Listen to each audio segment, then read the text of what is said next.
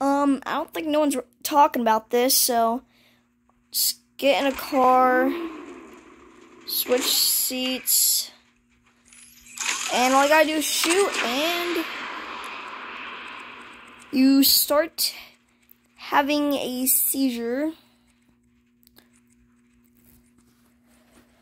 But yeah, that that's that that that's the whole glitch.